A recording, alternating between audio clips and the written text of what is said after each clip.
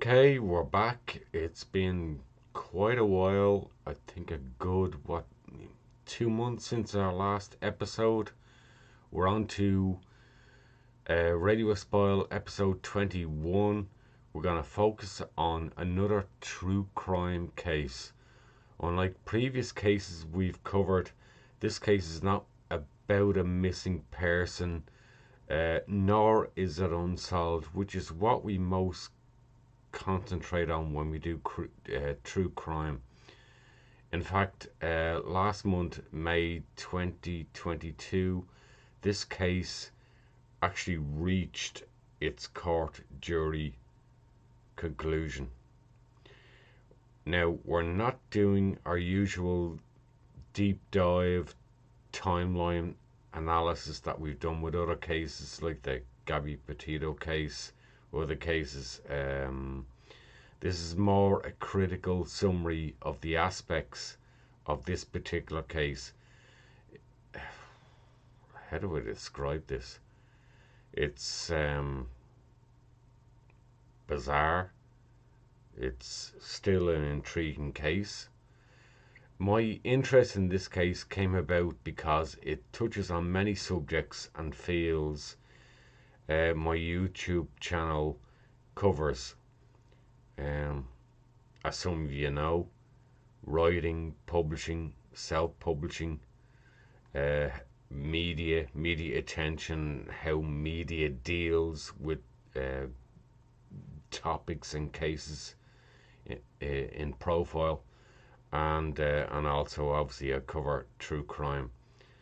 Uh, this one, wow this one hit all the spots and this one was not a not a case I could ignore.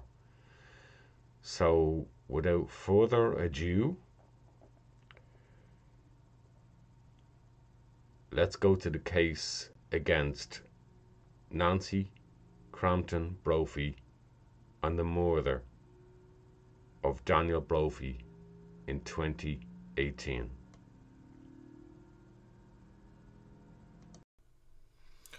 After a first marriage and divorce, Daniel Brophy met and dated Nancy Crampton, and romance blossomed between the pair. They married in early 1990s and eventually set up home in Oregon, United States. Daniel was a chef and Nancy worked in several fields before focusing on a writing career with non fiction articles published in trade journals and technical writing for human resource departments. By 2003, she joined her local chapter of Romance Writers of America and learned the craft of story writing. Soon, she switched to her real passion romantic suspense novels. Her stories are about pretty men and strong women, about families that don't always work, and about the joy of finding love and the difficulty of making it stay. By 2011, she had become a highly prolific novelist, winning minor awards and embraced the successful realm of self publishing, Amazon ebooks, and a growing social media fan following through her author website. All seemed well. Success beckoned for both. Her husband Daniel, a chef, eventually began teaching at the Oregon Culinary Institute during the week and sometimes on weekends. His time off from work ranged from feeding the chickens, gardening, to hunting and foraging for the local forests for mushrooms. But like in all marriages, life wasn't always perfect. Nancy reflected on their 26 plus year marriage and said on their on her author blog website like all marriages, we've had our ups and downs, more good times than bad. Most recently, we have spent 14 nail biting months living in an apartment while our house was rebuilt from a house fire. In the process, I have acquired an in depth knowledge of kitchen cabinets, bathroom plumbing fixtures, and leaking roofs. If this writing thing doesn't work out, I plan to investigate becoming a contractor who specializes in on time, under budget remodels.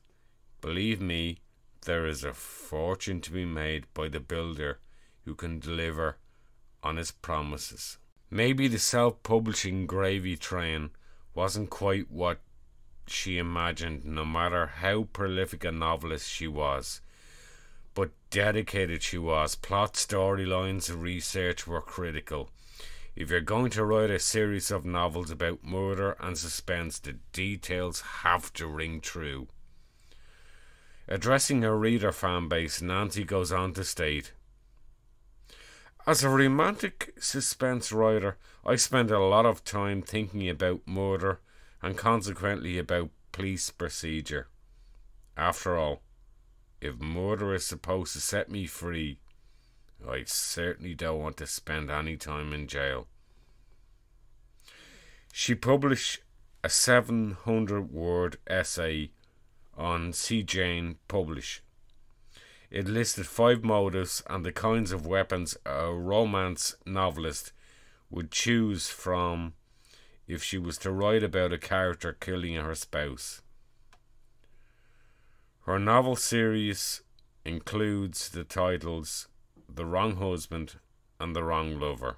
On the morning of Saturday, June 2nd, 2018, Daniel Brophy left home for work at the Oregon Culinary Institute, where he was a teacher. He had some teaching materials to carry into work, packed in boxes. He parked his pickup truck close to the Institute and close to where he always parked as a creature of habit. He raised the security shutters and entered the building shortly after 7 a.m. and turned off the alarm. He busied himself preparing for the day and his teaching classes that morning. Not long after, he would be shot twice once in the back and the second shot through his heart. Critically wounded, he may never have known if he knew his attacker when the final shot was fired at close range bleeding and dying.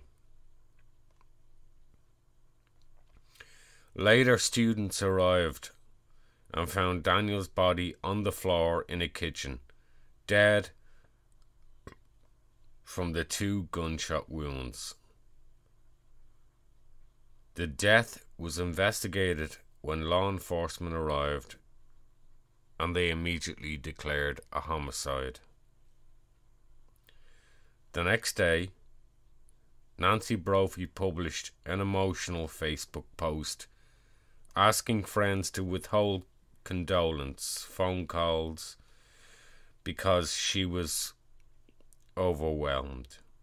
She asked friends and family to please save phone calls for a few days until I can function. After a long investigation, on a case that lacked direct forensic evidence linking a suspect.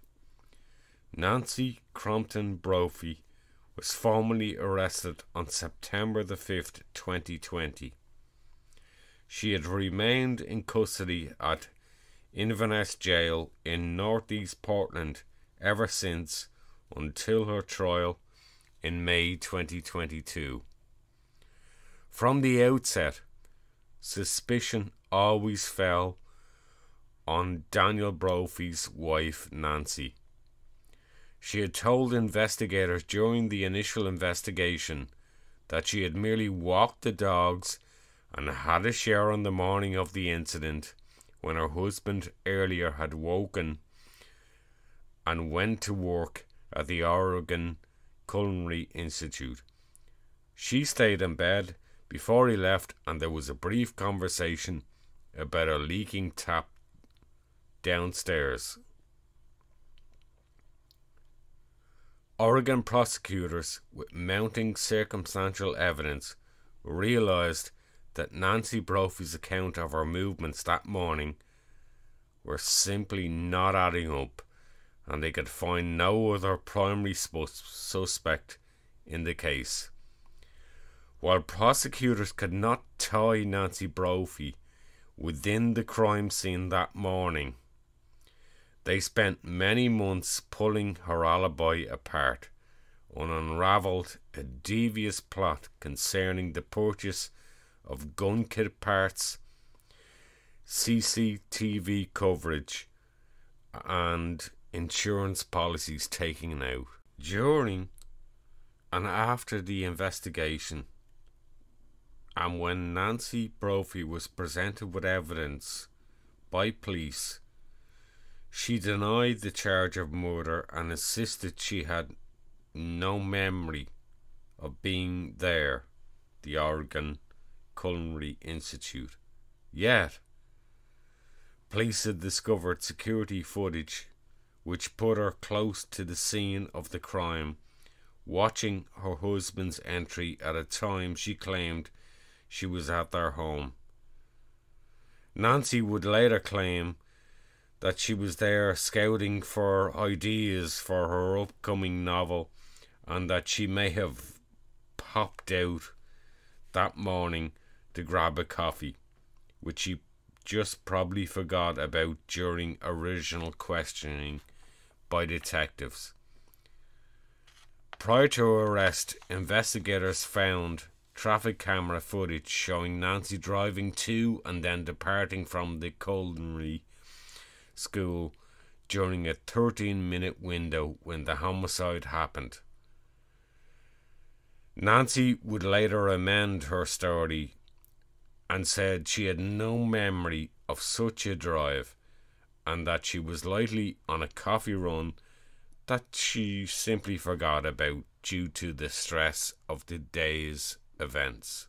After more intense questioning, Nancy Brophy finally admitted to buying a pistol, a pistol kit, and a slide and barrel for a Glock gun prior to the murder.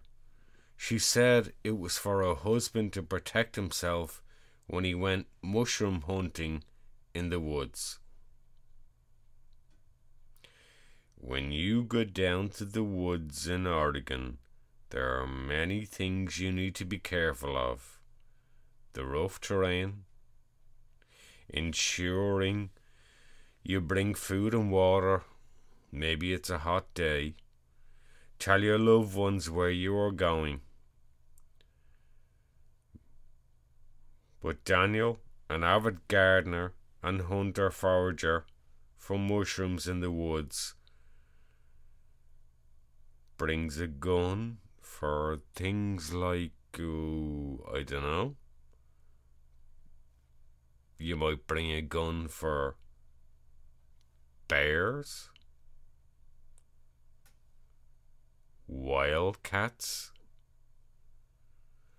Hey, you might even believe that the Yetis out there in Oregon. But hey, the mushrooms, they're not homicidal maniacs and you don't go there with a gun to protect yourself from homicidal mushrooms. At trial, it was clear Nancy Brophy had left her home on June the 2nd long before she claimed to walk the dogs or pop out for a, a Starbucks coffee. Forgotten but remembered when presented with CCTV before starting her writing day at 9 am.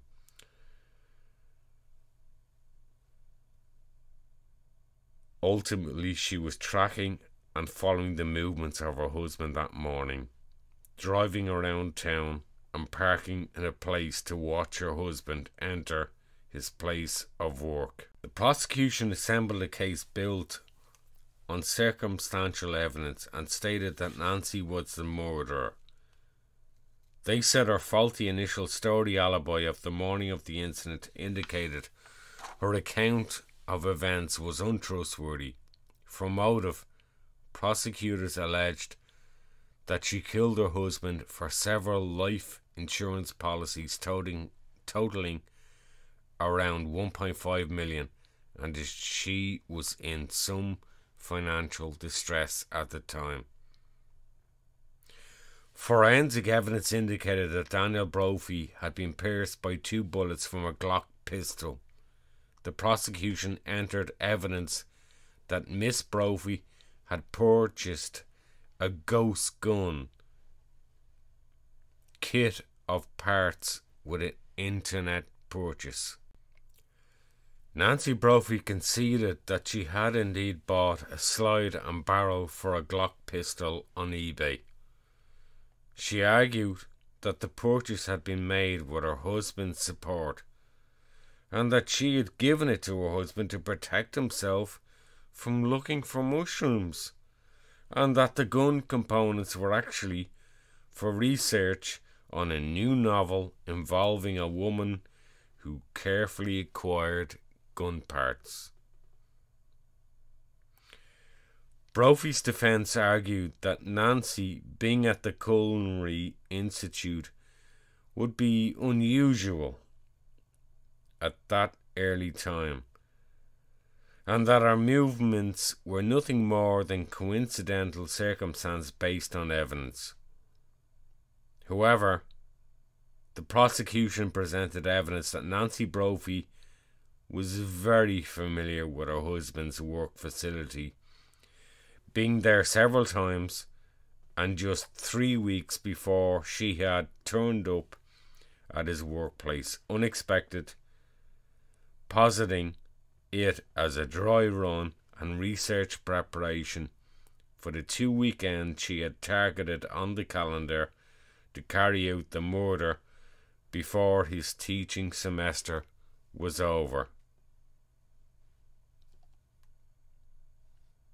During Brophy's time incarceration at a medium security facility after arrest in 2020, she allegedly accidentally said a bit too much to a fellow inmate. You know, hey, that's the problem. Writers can never stop talking about their research on their next project.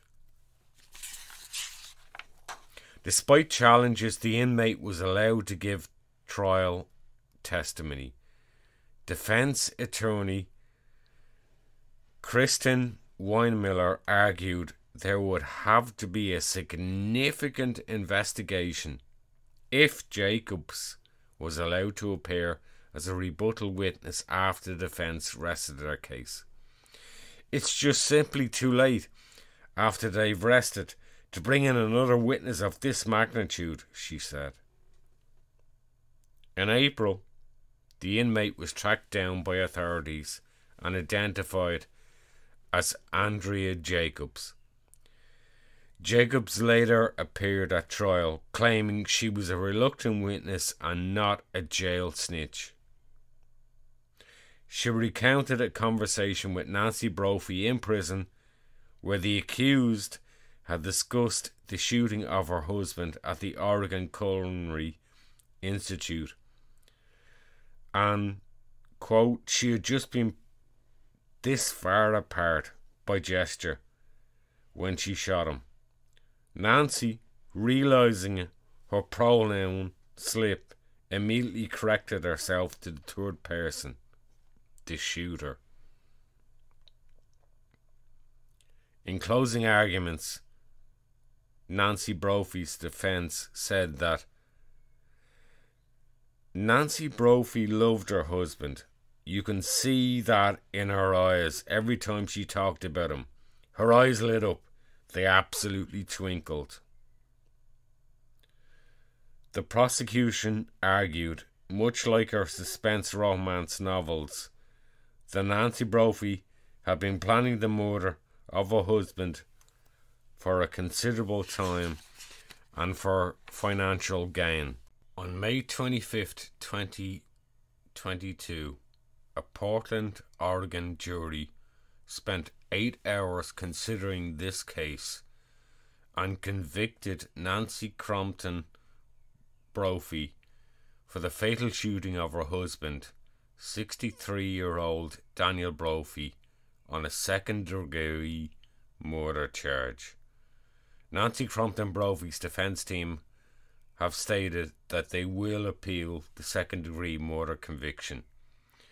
Brophy faces life imprisonment and will be sentenced in June July this year pending court submissions.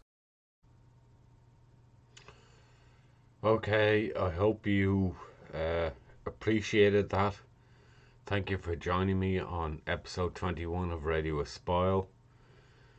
Uh, yeah, if you like this episode on YouTube, uh, the various podcasts on iTunes, uh, SoundCloud, and Spotify, wherever you found us, I always ask, doesn't cost anything. Give us a like, follow, hit the bell notification on YouTube. Uh, I'll be back soon with other cases and um yeah that was one of those cases where and I always look at media and how they deal with cases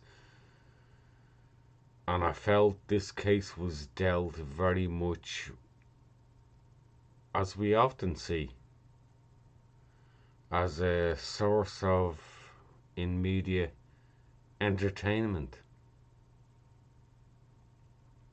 With little focus really on the facts and what was going on with the case. Um, yeah, that's what often happens.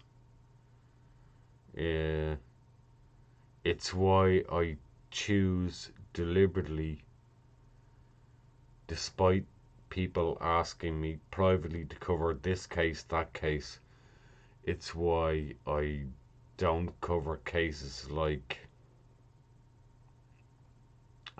offhand I can think of Madeleine McCann.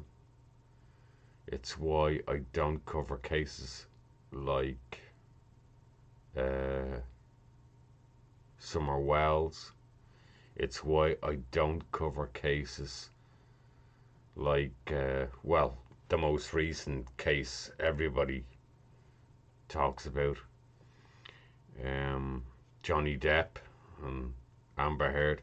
I, I don't cover cases like that. They become a farce.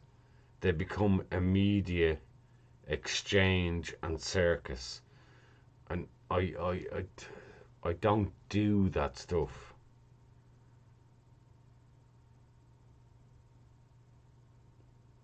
Okay. Either did or didn't enjoy this video. I hope at least opened your eyes. Um, until the next episode. Take care. God bless. Let's be good to each other.